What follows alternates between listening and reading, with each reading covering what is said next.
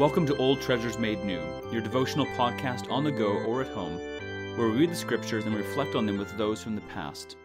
Today we'll be reading Matthew 2, verses 13 to 23, and then through J.C. Ryle's expository thoughts on Matthew. Please take a moment to pause and ask the Holy Spirit to bring understanding to apply what we hear. Matthew chapter 2, verses 13 to 23.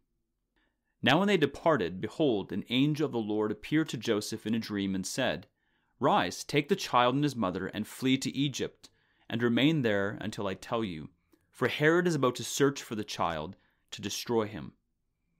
And he rose, and took the child and his mother by night, and departed to Egypt, and remained there until the death of Herod. This was to fulfill what the Lord had spoken by the prophet Out of Egypt I called my son. Then Herod, when he saw that he had been tricked by the wise men, became furious. And he sent and killed all the male children in Bethlehem and in all that region who were two years old and under, according to the time that he had ascertained from the wise men. Then was fulfilled what was spoken by the prophet Jeremiah. A voice was heard in Ramah, weeping and loud lamentation, Rachel weeping for her children she refused to be comforted because they are no more. But when Herod died, behold, an angel of the Lord appeared in a dream to Joseph in Egypt, saying, Rise, take the child and his mother, and go to the land of Israel, for those who sought the child's life are dead. And he rose and took the child and his mother and went to the land of Israel. But when he heard that Archelaus was reigning over Judea in place of his father Herod, he was afraid to go there, and being warned in a dream, he withdrew to the district of Galilee.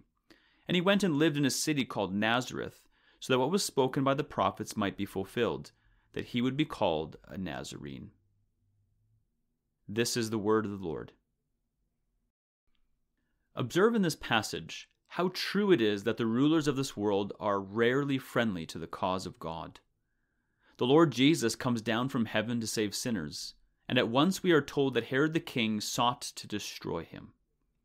Greatness and riches are a perilous possession for the soul.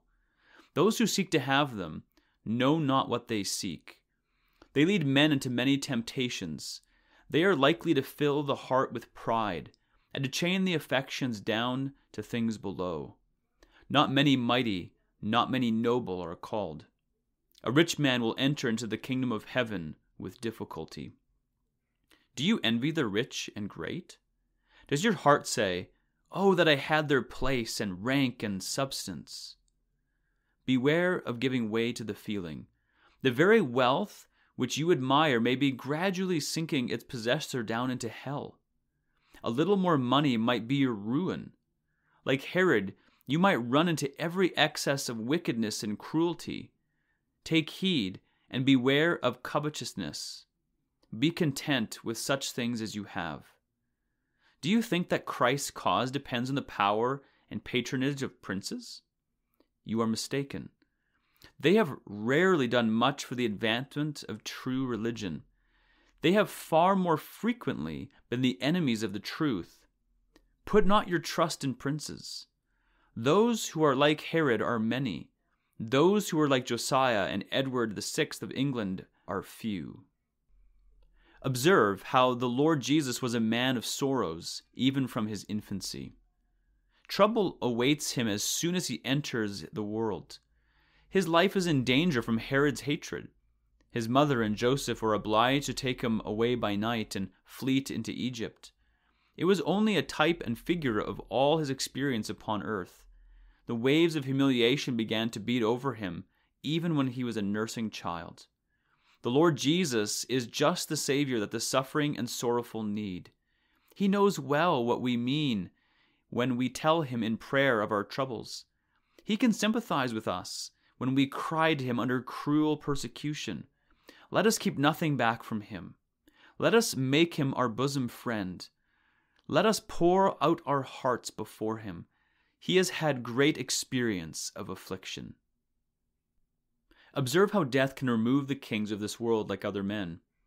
The rulers of millions have no power to retain life when the hour of their departure comes. The murderer of helpless infants must himself die. Joseph and Mary hear the tidings that Herod is dead, and at once they return in safety to their own land.